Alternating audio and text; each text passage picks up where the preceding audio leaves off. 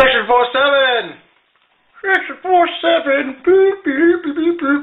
Transforming formulas. Our objective is, well, to do that. Transform formulas. What do I mean? Well, what I mean is, here we have um, a formula for the area of a trapezoid. Now, what we have here is A, serve, capital A, um, solved for in terms of H, A, and B. So we're using these terms to describe A.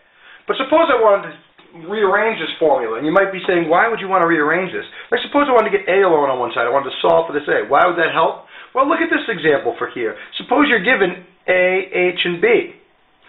Capital A, small h, and B. They told you the area is 84 square units, H is 7B, so you have to find A.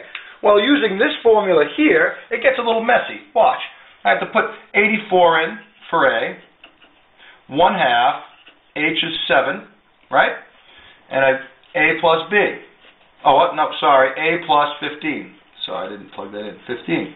So how would I solve for this? Well, you it a few ways. Well, I could do 84 equals 1 half of 7 is 7 halves, A plus 15, right? Could distribute 84 equals 7 halves A plus 7 halves times 15. Um, 84 equals 7 halves A plus 15 times 7. Oh, you know what I could do? Let's not even do that. I could multiply all the way through by 2, couldn't I? That would be a good way to get rid of these fractions. We don't want to see those guys. So here we go. 84 times 2 equals 7a plus 7 times 15. Oh, that looks a lot nicer. And I get 168 equals 7a plus, what's 7 times 15? 105. I subtract 105 from both sides. I get 7a equals. If I subtract 105 from 168, I get um, 63. Therefore, you know a is equal to 9. So I found my a. That's very nice. But I had to go through all these steps. Suppose I could I could rearrange this formula and solve for a so I could just have a formula that I could just plug these numbers in and whoosh, what would come out? Little a. That's what I want to do. I want to solve for small a. I'm going to start out with my formula here. A equals 1 half H, A plus B, right? Isn't that the, thing, the same thing as A equals H over 2, A plus B? I think it is. Um, and can I multiply both sides by 2? Sure I can.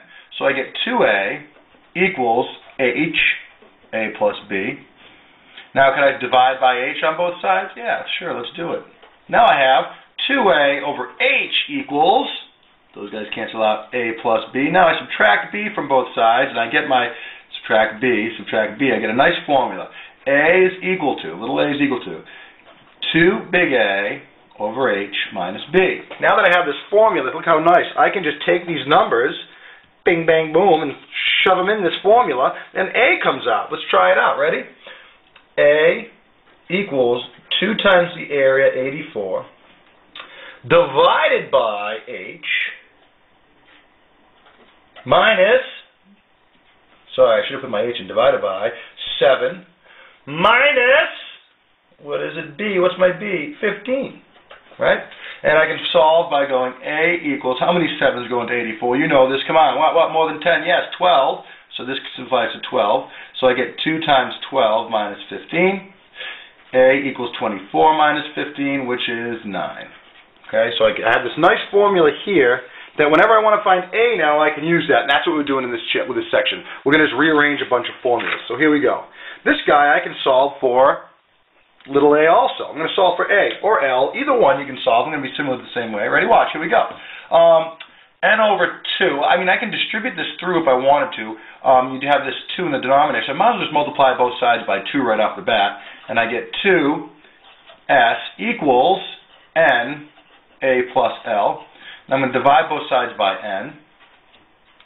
These guys cancel out. I get 2s e over um, n equals a plus L. And the final thing to solve for a, suppose I want to solve for L, I'd subtract a from both sides. But if I want to solve for a in terms of ls and n, I'd subtract um, L from both sides. So minus L minus L, and I end up with 2s over n minus L equals a. And there's my formula course, I could write A, I could switch these around and write A equals this. Um, symmetry, right? So there we go. I solved for A. At this guy. I can solve for F or I can solve for G on here. Um, again, this is a similar one to before. Multiply both sides by 2. I get 2q equals f minus g. Suppose I wanted to solve for f in terms of g and q. Well, I'd add g to both sides, right? And I get f equals 2q minus g. Suppose I wanted to solve instead for f, I wanted to solve for g. Well, at this step, I subtract f from both sides, right? I'd get 2q minus f equals negative g. Then I'd multiply both sides by negative 1, or I'd take the opposite of both sides, and I get negative 2q plus f equals g. So what I have here is, notice, formulas are great because you can solve for any of the variables. Here's q solved I solve for Q in terms of F and G. Here, F is solved in terms of Q and G. Here, G is solved for in terms of Q and F, meaning I'm using Q and F to describe G. Here's another one. This one's a little tricky because we are trying to solve for n here. I'm going to solve for n in this problem, but notice there's an n upstairs and downstairs. So you got to get a little tricky here. First of all, the last thing that we looked at this, what was the last thing done to this side? It was divided by n. So let's undo that by multiplying both sides by n. Okay? And we get over here, AN equals 180 n minus 2. Watch how nice this is. AN equals 180n. I'm going to distribute that 180 minus 2 times 180, 360. Now I'm trying to solve for n, so I'm not quite sure what to do here. I might as well just get all the n's on both sides. So I'm going to um, subtract 180n from both sides, right? I might, I might as well get the, the n's on one side. And what do I end up with? Let's see. I end up with an minus 180n equals negative 360. How am I going to get that n out of there? Well, just like what do we do when we have uh, like terms? Are these like terms? You can pretend these are like terms, and n is the variable part, or the right. For instance, if I had um, 200n minus 180n, you'd say 200 minus 180 wouldn't you? Which is 20n. Well, the same thing here. It's because it's kind of this is called factoring. We're going to take out factors from both sides. So I'm going to subtract the coefficients of n. This guy minus this guy, just like I would here, 200 minus 180, and I get a minus 180. Look how nice this is. n equals negative 360. Almost done. What do you do when if I had 20n equals 360? I divide both sides by 20 to get the n all alone, right? Isn't that what you do? We'll do the same thing here. Divide both sides by a minus 180. Look how nice this is. It's unbelievable. It makes me so happy. Here's my formula. n equals negative 360 over a minus 180. And I'm done. Great problem, all right? Tricky step here, factoring that. Remember, we have like terms there. Subtract the coefficients, bada bing, bada boom.